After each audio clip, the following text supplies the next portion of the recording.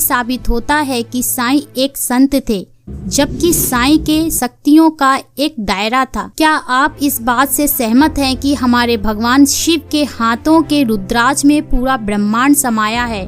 उनकी तुलना आप एक सिद्ध पुरुष से कैसे कर सकते हो? किसी संत की समाधि बनाना या मूर्ति उस जगह पर रखना कोई गलत बात नहीं है, लेकिन उसे व्यापार बना लेना कहाँ तक उचित है? महाराष्ट्र के प्रसिद्ध संत ज्ञानेश्वर का नाम आपने सुना है। उन्होंने जीवित समाधि ली थी और सिद्ध संत थे, लेकिन उनके व्रत, मंत्र आदि तो चालू नहीं हुए और होने भी नहीं चाहिए। जहाँ किसी सिद्ध संत ने तप किया हो और समाधि ली हो, वहाँ उनकी मूर्ति मिलेगी। लेकिन हर जगह इन्हीं की मूर्ति होने लगेगी तो फिर सोचिए क्या हाल होगा। एक दिन भगवान के मंदिर रुप्त तो हो जाएँगे और संतों के मंदिर दिखेंगे। साईं बाबा की समाधि तक ठीक है, लेकिन हर जगह और अपने मंदिरों में भी आपने उन्हें प्रवेश दे दिया है। यह कहाँ तक उचित है?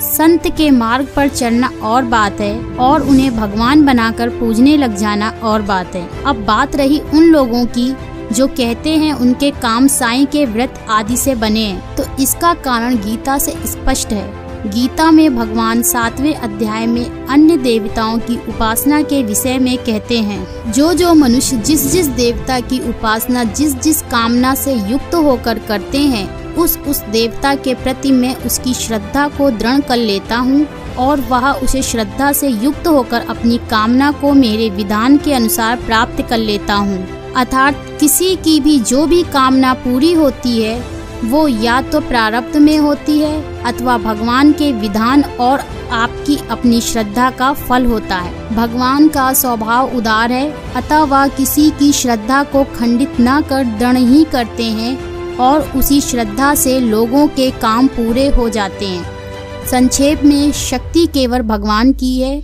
जो आपके काम बना रही है। यदि आप साईं को अपना गुरु मानते हैं और उनसे मार्गदर्शन लेना चाहते हैं तो ठीक है लेकिन उनके व्रत, साइन गायत्री केवल व्यापार को बढ़ावा देना है और अंध प्रथा है। बुद्धिमान हिंदुओं को इसे तुरंत बंद कर देना चाहिए, क्योंकि पूजा केवल भगवान उनके चिदानंद में श्री विग्रह की ही होनी चाहिए। तो आज के इस वीडियो में बस इतना ही। आपको यह वीडियो पसंद आया है तो लाइक और शेयर करें।